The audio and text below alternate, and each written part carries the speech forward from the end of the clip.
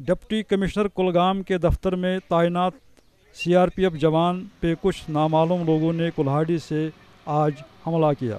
S S P Kulgam Harmeet Singh کے مطابق ان لوگوں کی منشا تھی کہ سی آر پی جوان سے بندوق چھینی جائے، لیکن جوان کی ہمت نے حملہ وفل کر دیا۔ Bureau report early times.